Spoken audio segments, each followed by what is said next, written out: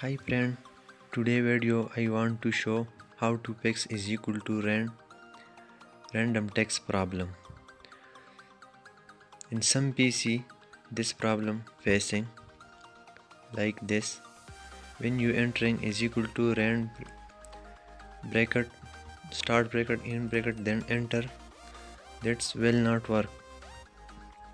Because this this is a small problem how to fix it follow me how to fix it. How to fix it then follow me. First of all go to office button then click word option then go to proofing then auto correction option then check replace text as you type. And then ok. Let's see. Our problem is solved.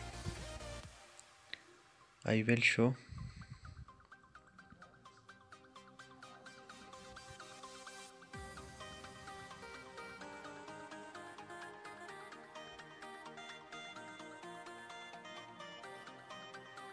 then enter.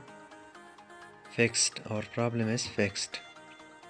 Please like this video and subscribe my channel for more video